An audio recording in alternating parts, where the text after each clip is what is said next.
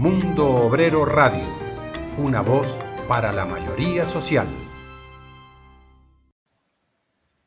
Bienvenidas a Hijas de Calenda, el espacio de Mundo Obrero Radio en el que intentamos dar visibilidad a las mujeres a lo largo de la historia, que han sido ignoradas a lo largo de la historia. Este programa eh, lanzado la semana del 8 de marzo y en él queremos hacer hincapié en los logros conseguidos gracias al movimiento feminista y en particular a las leyes aprobadas por el gobierno actual que han supuesto un avance y una consolidación de derechos pendientes para, las mujeres. Tenemos la ley del aborto, tenemos la propia reforma laboral, la ratificación del convenio de la Organización del Trabajo para las empleadas del hogar o, la, ley, la ley trans, la llamada ley trans. Eh, en debate está la ley del solo sí es sí y a la espera de esos avances eh, todavía tenemos muchas tareas pendientes para, conseguir y, en ellas nos queremos, queremos centrarnos en una de ellas. Señalamos las tres más importantes que creemos que son las pendientes, como son acabar con la lacra de la violencia machista, eh, una especial atención a los cuidados y, cómo no, acabar, terminar de una vez con la precariedad laboral. Para hablar de precariedad laboral tenemos hoy a Nuria Gallardo Fernández, que pertenece al sector de las peluquerías. Bienvenida, Nuria. Hola, muy buena a todos. Mira, eh, para empezar, cuéntanos, cuéntanos un poco, porque eres muy jovencita, eh, los años que tienes, tus estudios y, la profesión a la que te dedicas exactamente. Vale, pues mira, te cuento. Yo tengo 21 años y estudié grado medio y grado superior de peluquería y cosmética capilar. Aparte, para complementar un poco mi formación en el ámbito del audiovisual, he estudiado también un máster de maquillaje y caracterización. Ahora mismo las oportunidades que se me dan son más bien trabajar en una peluquería en la que estoy en un contrato parcial de 20 horas y he hecho pues las tardes allí. Vale. Eh, ¿Por qué consideras que es un trabajo precario? Porque al fin y al cabo mm, no está dando la no está dando las soluciones que me daría un trabajo a 20 horas, es decir, yo he hecho mi hora, pero nunca son esas horas em, justificadas, siempre te queda un poco más. Yo, por ejemplo, hago unos servicios extras como son el maquillaje o compañeras mías hacen servicios de gerente y no son recompensados, no son remunerados. Entonces, eh, me parece precario porque al final estás dando unos servicios que no se te están mm, cumpliendo, al final no se te están pagando. Vale, me comentabas antes de la entrevista, eh, hablábamos del tema de las colaboraciones. cuéntanos qué, es eso de las colaboraciones. Pues mira, yo intento ir buscando un poquito, ¿no? Cada uno se busca sus caminos, sus habichuelas, e intento buscarme todos los trabajos que me hagan crecer, que me hagan ver eh, opciones nuevas, que me abran la cabeza. Y en el sector del maquillaje y de la. de la. ¿cómo se dice esto? De. Mm, mm, perdón en el de, mm, las producciones hay mucho, mucha colaboración en el sentido de que se presentan trabajos, se te plantean en los que todo, tanto fotógrafo como director, como maquillaje, peluquería, estilismo, todos lo hacen en ámbito de colaboración, es decir, todos van para darse a conocer, pero no es remunerado. Tú das tu tiempo, das tu material, das tu conocimiento y al final, pues bueno, sale un trabajo conjunto, pero de eso nadie come. Entonces, por ejemplo, aquí en Granada sí hay mucho de eso. He intentado apuntarme a todo lo que he visto y el 80-90% son colaboraciones, por lo que me está dando a ver que aquí no tengo mucho más que hacer. Vale, o sea que las colaboraciones es como si fuera una, una forma de voluntariado, ¿no? De por todo el morro tú te dedicas a hacer tu profesión, pero nadie te lo paga nadie te lo paga y a veces ni lo valoran. Y evidentemente ni cotizan ni nada, ¿no? Nada, claro. eso es como amigos, eso quedáis, habláis y si puedes bien y si no, pues nada. Y claro, es que si no coges esa oportunidad, no te conocen, no, está, no tienes esa mm, pérdida del miedo, ¿no? Al final también no, no puedes abrir nuevas opciones, no te las dan directamente. Vale, vale. Y, y me comentabas también que que esto es una cosa, una práctica muy extendida en todo el sector, ¿no? absolutamente todo. Todas mis compañeras que han estudiado maquillaje, a día de hoy, cuatro años después, ninguna eh, ha seguido, vamos, tiene un trabajo fijo, a no ser que ya te metas en una empresa o ya te metas como yo en una peluquería o en algo así más específico, pero al final, por ejemplo, yo en la peluquería me pagan lo mínimo de lo mínimo y ya supuestamente con la experiencia, con la antigüedad, con los trabajos realizados te pagan más, pero como te acabo de comentar, hago trabajos extras y ni se valoran, por lo que no te lo remuneran.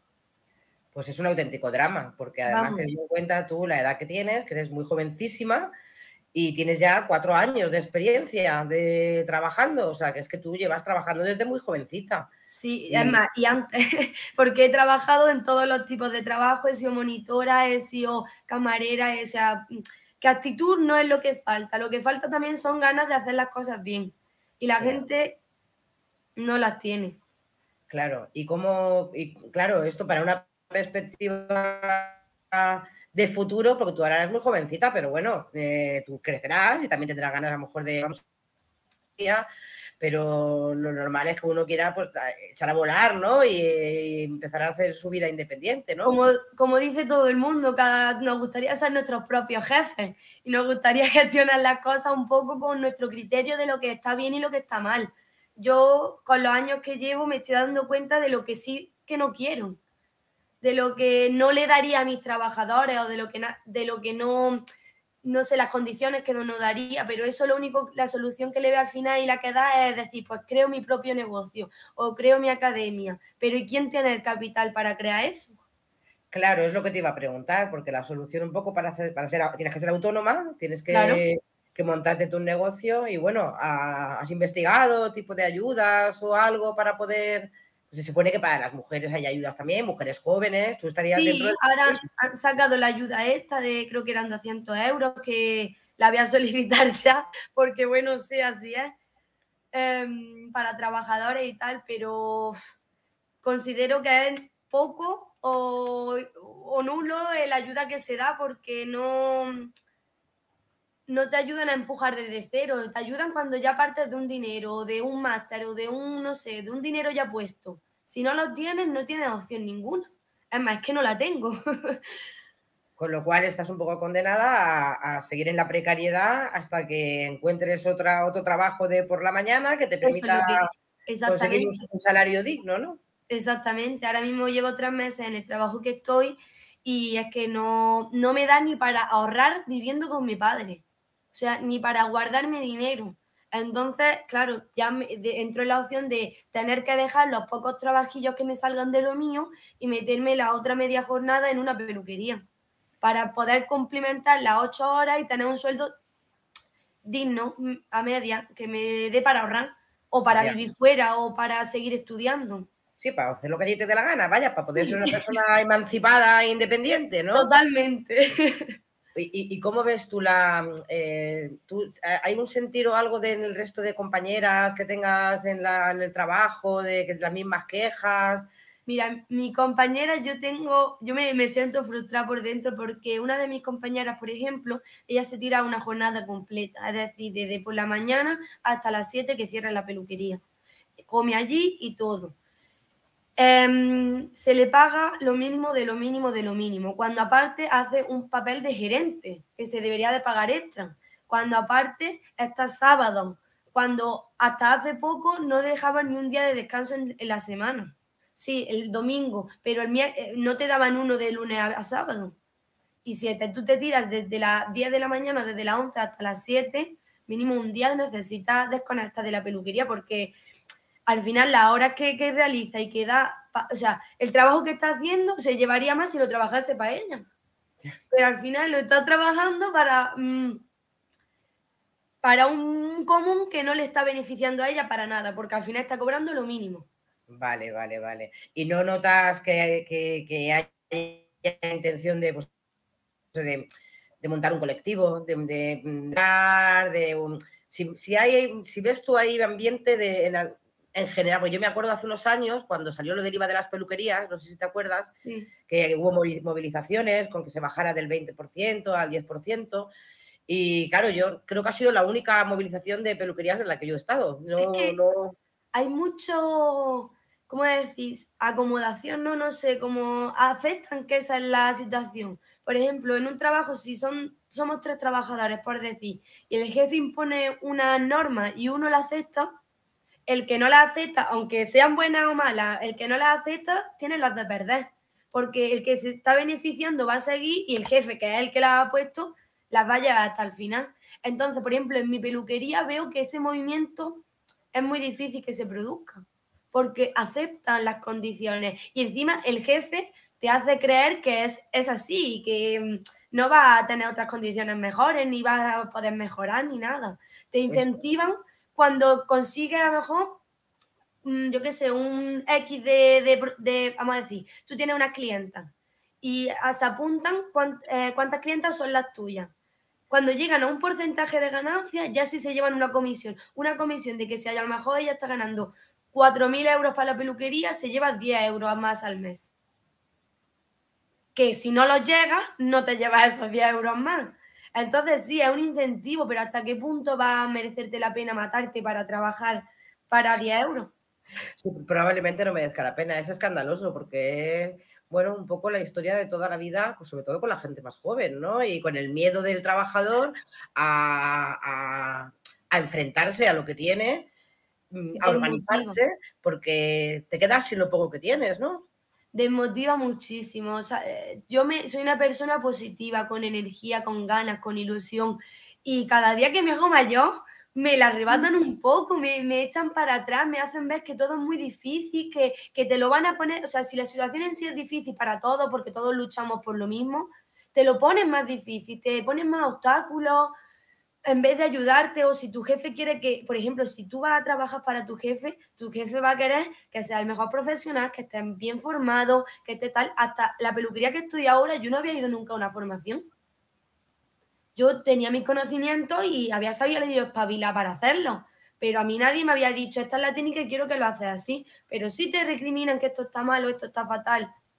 Entonces, está bien, por ejemplo, en mi peluquería si lo hacen que te llevan a formaciones, tu tiempo de trabajo, te, te, explican las marcas, pero eso antes era muy, muy, muy poco común. Ves lo que te lo daban gratis. Ya, ya, ya, ya, ya, ya, ya. Formaciones hay siempre, pero hay que pagarlas. Ya, claro, claro, con lo cual al final, pues dices, bueno, pues es que tampoco puedo, ¿no? Claro. Porque no te llega, ¿no? Si no te ayuda la, la empresa a mejorar tu, tu conocimiento, es muy difícil que tú fuera de eso, vamos, en una jornada completa. Yo no me puedo quejar con la media jornada ahora mismo porque estoy así, pero si necesitara más dinero yo no podría optar a estudiar más o a más formaciones o a nada más. No, claro, no, además que tú tienes una edad que, estás en formación también, porque... Yo continua. Eh, eres muy joven y, bueno, ya tienes bastante experiencia laboral, pero estás todavía en camino de seguir formando para tener un futuro más digno, ¿no? Y lo peor es que, claro, yo me informo de máster o me informo de, lo que sea, de cursos, y es que cursos públicos, por ejemplo, yo ya no, tengo, no puedo hacer mucho más. Yo me puedo sacar mis cursillos, yo que sé, de vendedora, de tal, pero no de que me complementen mi información. Algo que sea mejor, ya el público no puede hacer nada, ya privado, pues mm, échale lo que pueda. Claro, tienes que echar, tienes que echarle mano a un capital pues, del que no se dispone, ¿no? Claro. Del que no se dispone, vamos, y ya, bueno, las condiciones familiares de cada uno, pues fíjate, si la vida está cara, está cara para todo. Claro, eso te iba a preguntar también, digo, porque tú, eh, tú, tienes amigos, tienes amigas, y en tu entorno de la gente que, que tienes que trabaje, eh, ¿son también trabajos precarios? Mm, la mayoría sí, los que son de mi edad, porque es verdad que un poco más mayores ya se estabilizan más los trabajos, parece que te toman más en serio, no lo sé. Pero toda la gente de mi edad, es más, preguntan, ¿es que estás de práctica o es que tal? No, eh, es mi trabajo, o sea, podría hacerlo mejor o peor, pero lo, importante es que estoy aprendiendo. Conozco muchos de mis amigos que, por ejemplo, han estudiado la ESO, el bachiller, tal, que, mm, por ejemplo, en turismo también lo noto, llevan, hacen, los mandan a un viaje, se tiran cuatro días fuera y al final por casi te pagan el ir y venir, ¿no? Mm, te irán más dando más dinero, pero no, no es el... porque tu trabajo es el mismo, las horas son los mismos y los conocimientos son los mismos. Y al final no te da las mismas condiciones. Luego, yo por lo menos lo que más conozco, la estética, la peluquería y lo audiovisual, lo que peor está pagado de verdad. Bueno, Luego está también, pues, cuánta gente hay en la hostelería, con, con salarios, con, con horarios, con cosas súper precarias, muy mal gestionadas, muy aprovechándose, claro, pues al final parece que no hemos avanzado, no hemos avanzado, vamos, que son reivindicaciones de hace muchos años, creo que los que hemos sido jóvenes hemos pasado también por ahí y, y pasan los años y tampoco varía, ¿no? Y sigue la gente joven, que es verdad que por una parte dice, bueno, es que eres joven y se acabas de empezar, pero también es lo que tú estás diciendo. Es que es mi profesión, es que yo ya sé lo que tengo que hacer. Entonces, no te aproveches de mí porque sea joven, es que te estoy desempeñando un papel. Es que es más, yo a día de hoy me di cuenta que la formación está en cada uno, está así en los estudios, está, pero por ejemplo, mi, una compañera mía, eh, ella solo ha hecho grado medio y en formación está muchísimo más formada. Y no tiene nada que ver que haya estudiado más o menos, pero en cambio yo ahora en, otra, en otros aspectos, yo acabo de acabar de estudiar y me siento muchísimo más preparada que mucha gente que, que, me viene a enseñar trabajo y digo, pero si es que yo podría hacerlo mejor. Nada más que por a lo mejor la importancia que le doy, el entusiasmo, las ganas. Pero mi esfuerzo ese no se valora. Solo se mira eh, la poca experiencia que tengo. Entonces no te dan ningún tipo de confianza para nada. Es más, la poca que tengas te la pisan. además es que es la pescadilla que se muere de la cola, ¿no? Porque para que una persona tenga experiencia es necesario que empiece a trabajar. Claro. para que trabajar tiene que contratarla por primera vez en algún sitio, ¿no? Claro que sí. Pero lo, lo bueno que, que, ahora se ha hecho con la nueva reforma es que se paguen las prácticas, que sean remuneradas. Eso me parece el paso más grande, porque te lo juro que tres meses trabajan que un jefe se aproveche de ti, porque es que se aprovechan, no te hombre, no habrá todo, pero yo hablo de por lo menos de mi experiencia. Y a mí se me han aprovechado, me han, tenido más horas de las que debía, me cambiaban los días libres como les daba la gana, como no había nada que lo regulara. Yo tenía una hora y tenía que cumplir en unos días. Ya me lo gestiono. Y a lo mejor a mí no me dejaban gestionármelo, me lo gestionaba el jefe. Me decía, no, es que hoy no me interesa que vengas, pues no vienes. Pues ahora sí te vienes y te vienen las ocho horas, cuando a lo mejor yo solo puedo estar seis vale, vale. que, sí que ves que la reforma laboral ha, perdón, ha influido eh, positivamente en el trabajo, en, mejorar de condiciones de trabajo, ¿no? Sí, sí, la, la, mejora un poco porque por lo menos ayuda. Porque el simple hecho de que yo no lo he tenido, de ir y irme y volver al trabajo, esa pequeña ayuda que si son 100 euros o si son 200, bueno, son para que tú vayas y llegues. No te estoy diciendo para que le saques beneficio ninguno. Es para que por lo menos no te cueste. Claro, claro, claro que menos, ¿no? Claro, yo tuve la suerte o me lo medio apañé para buscarme unas prácticas cerca, pero la gente que se tenía que venir de Alfacá al Zaidín, imagínate, pagate autobuses, pierde horas o gasolina, no te los paga nadie. O paga, bueno, ahora como está el Zaidín de zona azul, págate parking, paga zona, es que por donde lo pillas era más gastar que, que, que ganar. Bueno, pues enhorabuena. por lo menos hay una en la que, claro, porque yo, vamos, yo estoy convencida de que dentro de, de los avances que han habido, que se están haciendo, ¿no? Eh, ahora mismo en, el gobierno que la reforma laboral es positiva, ¿no? Yo la miraba y digo, bueno, es verdad que se trata de eliminar los contratos de obra y servicios. Se supone que esos contratos ya, ya están desaparecidos y se crean fijos discontinuos para que, puñetas, pues, al final te da más estabilidad, ¿no? Un fijo discontinuo, no tienes por qué trabajar todo el año, pero sabes que van a tirar de ti. Claro, te aseguran. O, la temporalidad, ¿no? Que también pues intentar reducirse los contratos temporales, porque tú ahora mismo tienes contrato de 20 horas por eh, contrato parcial, ¿no? Medio año. Y claro, medio año son seis meses, con posibilidad de renovar. En principio sí. En principio la intención es que ellos me están formando para continuar en la empresa. Pero que en otras que he visto o que he trabajado es lo que dice un contrato temporal en el que echas lo que a ellos les beneficie y sin te he visto no me acuerdo, en plan, ningún tipo de responsabilidad más ni explicación, simplemente se acabó y se acabó. Claro, porque ahora con la nueva reforma laboral puedes encadenar hasta 18 meses. Exactamente. Y después o te vas, o, te vas a la calle o es que tienen que hacerte indefinido. ¿Cómo lo ves? Es muy difícil, es muy difícil. ¿Cómo lo ves? Mm, veo que, por lo menos mejora. Por lo menos ya se ha prolongado el tiempo, ya te están dando una prórroga más en la que el, jefe puede valorar más tu trabajo, puedes hacerte un poco más prescindible, o sea, en el trabajo. Entonces, bueno, si se prorroga un poco el tiempo, está mejor porque da más posibilidades a, la larga. Entonces está bien, pero aún así hay que hacer mucho hincapié en que los jefes somos, somos todos un igual, somos trabajadores y lo mismo que las condiciones que les gustaría a ellos tener, nos gustaría a nosotros tenerlo. Ese pensamiento es maravilloso y ojalá, ojalá eso calara en, la clase mm, empresarial, ¿no? Porque al final son los que tienen la sartén por el mango y ojalá todo el mundo pudiera pensar así porque sería, porque al final es un... Haríamos una comunidad. Sí, cuando dicen que la riqueza la crean los empresarios, ¿no? Sin trabajadores no hay empresa, ¿eh? Exactamente, exactamente. Porque, por ejemplo, quien lleva mi, la peluquería en la que yo estoy, la lleva mi compañera y no se lleva ningún plus por estar todos los días allí. A mí es que me, enfada personalmente porque lo vivo a día a día y me parece una injusticia. Yo se lo digo le digo, vete, vete, no te lo mereces, por lo menos el, el tiempo que estás trabajando para ti sería mejor. Y yo igual, yo ya pienso todo el rato continuamente, llevo tres meses y lo único que pienso es otro trabajo, unas condiciones mejores, a ver cómo puedo hacerlo, moverme, moverme continuo. Claro, claro, no, sí, porque te llevan un poco abocado a que tú no te quejas, mm, haces lo que te están diciendo que tienes que hacer, estás sacándole las castañas del fuego, haciendo, como dices con tu compañera, ¿no? Funciones al final como de encargada, ¿no? Como un poco la que responsabiliza mientras que no está. Abre y cierra, por decirlo así. ¿El qué, perdón? Que la que abre y cierra, por decirlo así, en el sentido, la que está y, desde el principio hasta el final. Entonces, eso. Y, no, se pagan. Y no se pagan. No se pagan. Porque si por lo menos no se recompensa de otra forma, pues verías que está compensado el esfuerzo que das por otro lado. Pero es que no, no hay nada excepcional, no hay nada extra.